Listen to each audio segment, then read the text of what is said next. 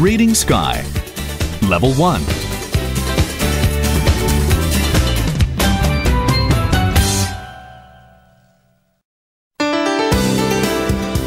Unit 1 Origin.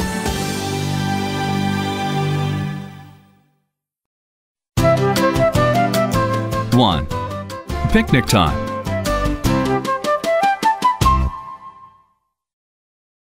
Most people love picnics. But where does the word picnic come from? Believe it or not, it came from France. Picnic comes from the French word pique-nique. The verb piquer means to pick. But nobody knows exactly what the word nique means. It was probably added simply because it rhymed with pique. At first, the word picnic did not mean a meal outdoors. Rather, it meant an indoor party. Each person would bring food to this kind of party. Everyone shared the food, just like a potluck today.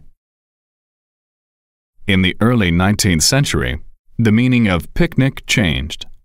These days, when we carry food to a park or beach and share a meal, we call it a picnic. Eating in the fresh air is a great way to enjoy a meal.